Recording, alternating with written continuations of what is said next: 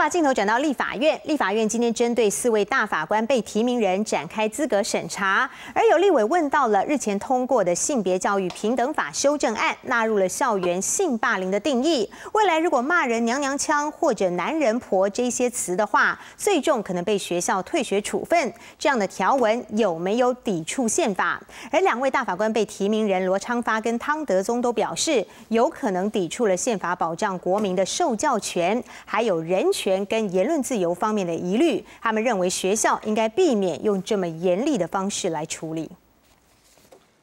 立法院审查大法官被提名人提名资格，四位大法官被提名人陈碧玉、黄喜军、罗昌发和汤德宗到立法院报告并接受询答。立委问到，对于校园如果发生性霸凌事件，最重可以退学处分，是否抵触宪法？有没有宪法上的权利受到侵害？是简单的回答是有的，因为我们宪法保障大家有受国民义务教育的权利和义务。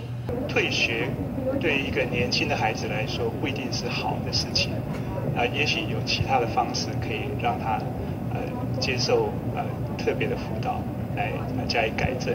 从有关法官退场机制的人审会能不能引进外部监督，到投票年龄下修到十八岁是否违宪等问题，四位大法官被提名人排排站，小心回答。而最受瞩目的还是爆发曾经持有绿卡风波的大法官被提名人陈碧玉，立委当场要求他主动到美国在台协会签署调查同意书自清，把这些调查。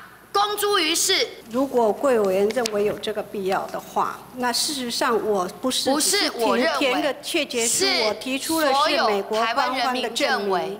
陈碧玉强调已经放弃美国籍，并且承诺，即使大法官八年任期结束后也不会再申请。而另一位大法官被提名人黄喜军，曾经连续四年考级一等，朝野立委质疑这样能否升任大法官？